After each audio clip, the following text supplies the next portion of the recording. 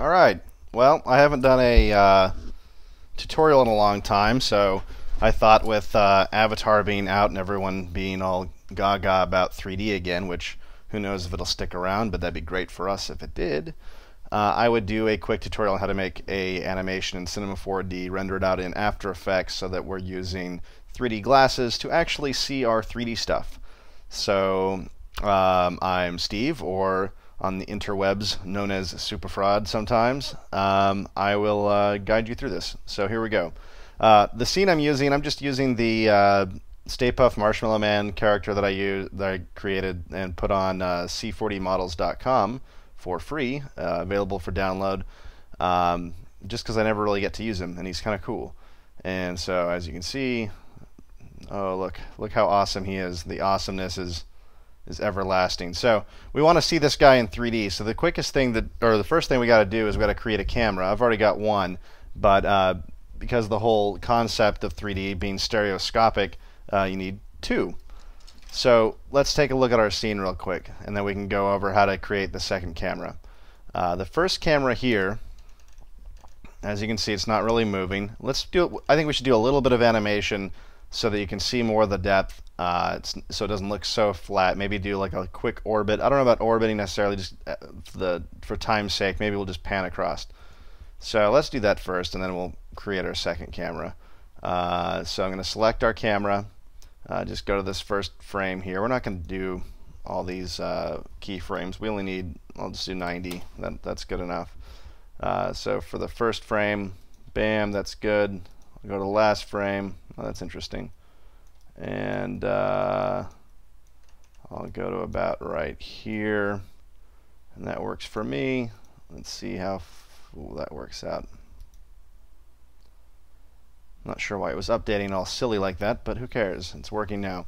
So, uh, all we got to do, the whole uh, idea behind how far apart the camera should be and that sort of thing, uh, is based on the distance uh, between the camera and the closest object to the camera. Now I know that can change if you have an animated camera.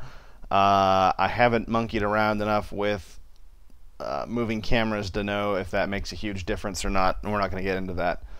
Uh, so let's just take a look here. The camera that we've got right now, best way to check the distance is you can select the camera, which, which we've got, uh, and then you can go to just your move tool, and you can grab on to the target and then just kind of move it up to the front of your object. So it's about there. And it's going to change, and if you go to the depth tab in your camera, it's going to update the distance of that target. So if I move it here, as you can see, that number is changing. So approximately, we're looking at right here, uh, 1249, so I'll just say 1250. And the uh, equation is it's 1 30th, 1 30th of that distance is the distance in x that you want your other camera. So, because I'm a math genius, not really, I've got another computer next to me that I'm going to type in uh, 1250 divided by 30.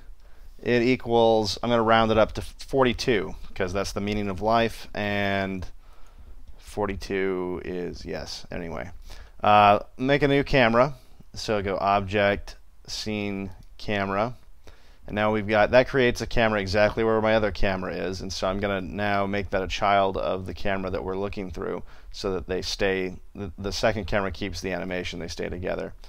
And now what we want to do is change the X of this camera, 42, because uh, if you give the coordinates right now, because it's uh, a child of that, it just says 0. So I'll select this camera because I want it to move to the right. I don't know if that really makes a difference either, but that's what I've been doing. So we want to do 42. So there we go. Now you can look at this camera and this camera. Got a decent little offset. So now the fun begins. Essentially, you have to render it out twice because the way that 3D stereoscopic is working, and this is true of uh, the red-green uh, or the uh, polarized glasses. Uh, the only difference is on the red-green glasses, um, the red and green obviously filter out the images for each eye, whereas polarized, uh, you don't have any of that color problem. Um, but each each is using two separate images simultaneously. And we'll go into detail a little bit more about how that works without having a $20,000 monitor with the red-green stuff here in a moment. But uh, we will have to render out each camera. So what I'm going to do is uh, that's fine. I don't need anything fancy. We'll do all frames and we will just do this.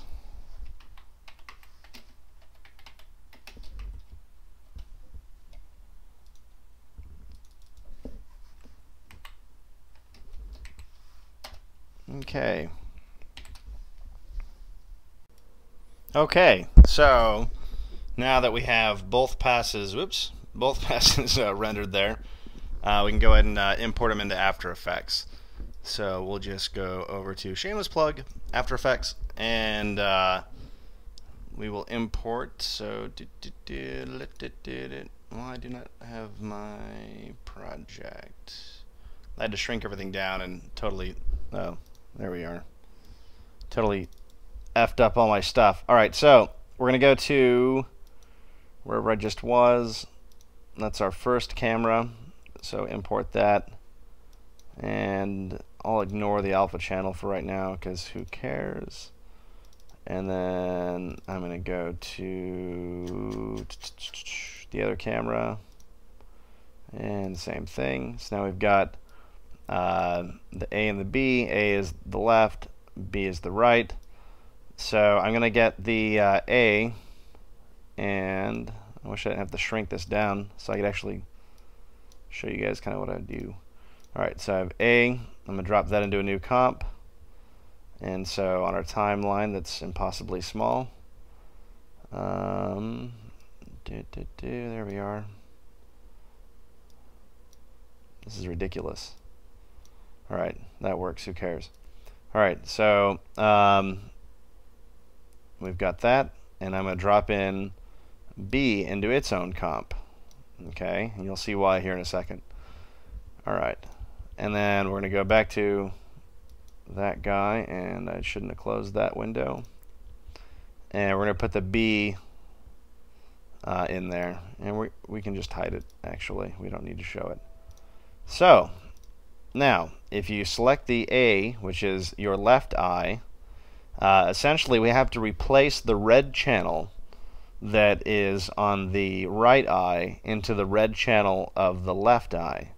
And the way you do that is there's an effect under channel uh, called, I believe it's channel combiner. And it is not channel combiner. So this is what happens when you don't plan these things. You just decide to make a tutorial real quick. It is called channel blend, maybe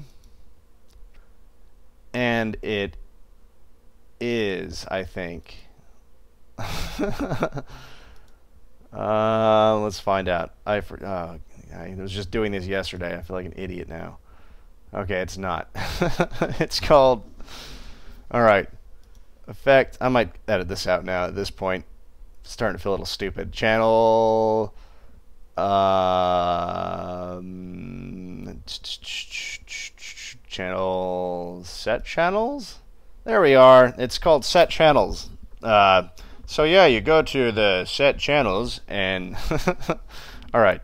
So the source for the channel, because you want the red channel of that guy, is going to be SPVR. I, I, I, don't know why. I just named it that. And it is red, so it's already set to red.